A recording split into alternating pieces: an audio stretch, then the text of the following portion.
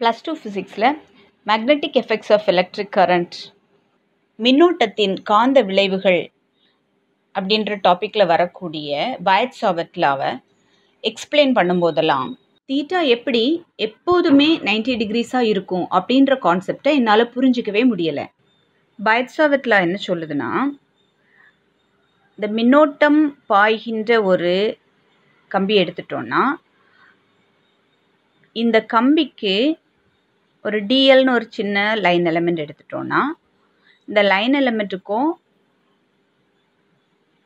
அந்த line எலமெண்ட்லேருந்து R தொலைவில் உள்ள ஒரு பீன்ற பாயிண்டில் ஏற்படக்கூடிய மேக்னெட்டிக் ஃபீல்டை நம்ம கால்குலேட் பண்ணணும்னா இந்த ஆர் யூனிட் வெக்டாருக்கும் டிஎல்லுக்கும் இடையில உள்ள angle theta that is ninety degrees அப்படின்னு சொல்கிறாங்க இதை வந்து பிக்டோரியல் எக்ஸ்பிளனேஷன்லேயும் நமக்கு கொடுக்க முடியலை சரியா?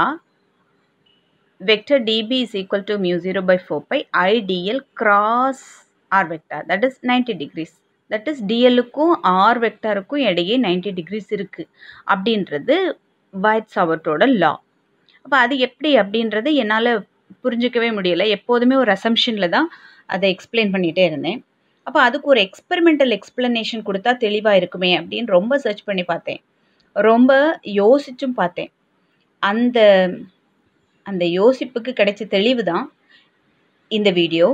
வாட்ச் பண்ணுங்கள் விளக்கம் சரியானதா புரிகிறதா அப்படின்றத கமெண்ட் பாக்ஸில் சொல்லுங்கள் வீடியோ பிடிச்சிருந்தா சப்ஸ்கிரைப் பண்ணுங்கள் லைக் அண்ட் ஷேர் பண்ணுங்கள் வீடியோக்குள்ளே போவோம்.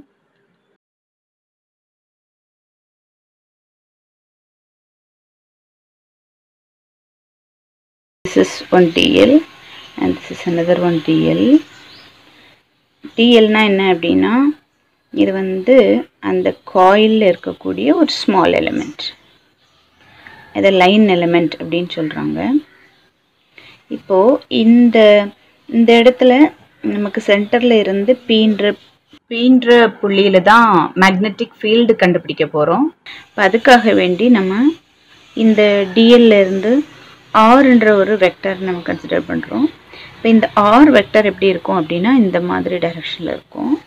அப்போ இந்த மாதிரி டைரக்ஷனில் இருக்கும்போது இந்த டிஎல்லுக்கும் இந்த ஆருக்கும் இடையில உள்ள ஆங்கிள் என்ன அப்படின்னு பார்த்தீங்கன்னா see this is the angle